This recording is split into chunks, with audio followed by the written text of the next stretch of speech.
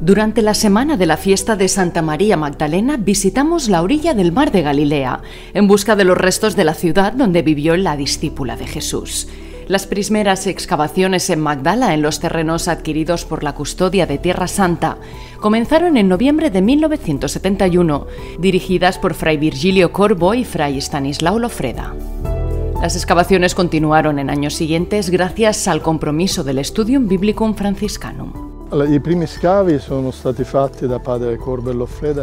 Las primeras excavaciones las hizo el padre Corvo en la década de 1970. Se descubrió una parte de la ciudad y sobre todo la plaza. La mayor parte de las excavaciones se llevaron a cabo entre 2006 y 2012. Una serie de excavaciones dirigidas por Stefano de Luca para la custodia de Tierra Santa ha sacado a la luz las ruinas que todavía se pueden ver hoy. Sobre todo sacaron a la luz un puerto de la ciudad de Magdala, de época romana. Es un hallazgo muy importante que define muy bien la importancia de esta ciudad en la región, desde el punto de vista económico y también militar. En 2008, el descubrimiento de las piscinas termales también sacó a la luz valiosos lotes de cerámica, jarrones de perfumes y joyas. Uno de los resultados más importantes, el descubrimiento del monasterio bizantino y los edificios de la ciudad romana.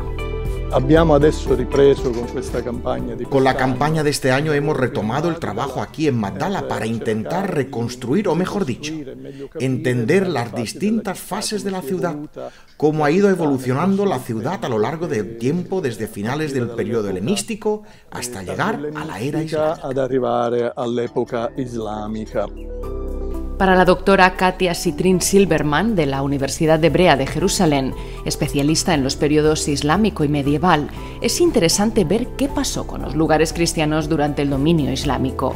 Y también tiene una teoría sobre el desarrollo de la industria azucarera en la región. Décimo segundo y décimo tercero los siglos XII y XIII son periodos de desarrollo de la industria azucarera. Cuando hablamos de azúcar pensamos en Sudamérica, pensamos en Brasil, pero en realidad toda la historia del azúcar empezó aquí. Y Magdala también podría jugar un papel en el rompecabezas de la industria azucarera en esta región.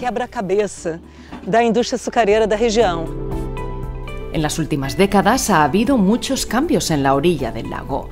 En la zona de los Legionarios de Cristo, adyacente al recinto franciscano, las excavaciones han sacado a la luz una antigua sinagoga y un bajo relieve con una antigua representación de la menorá. Hoy, dos frailes de la custodia de Tierra Santa custodian el yacimiento arqueológico junto a voluntarios y sirven en los santuarios cercanos a Magdala. Eh, Creo que para los voluntarios la experiencia de participar en las excavaciones es un yacimiento tan importante como Magdala es ciertamente especial, tanto como experiencia personal como por la posibilidad de estudio que puede ser utilizada en otras áreas arqueológicas. Por un designio de la providencia, el primer día que vinimos aquí a acabar fue el día de la fiesta de Santa María Magdalena. Tal vez hayamos tocado algunas piedras de su época.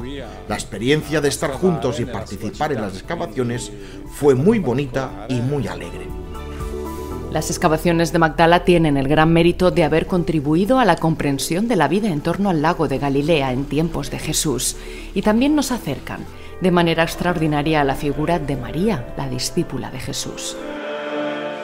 El 22 de julio, en la Basílica del Santo Sepulcro, los frailes de la comunidad celebraron la misa por la fiesta de Santa María Magdalena, la fiel seguidora de Jesús que estuvo bajo la cruz, la primera a la que en la mañana de Pascua el Señor se apareció llamándola por su nombre.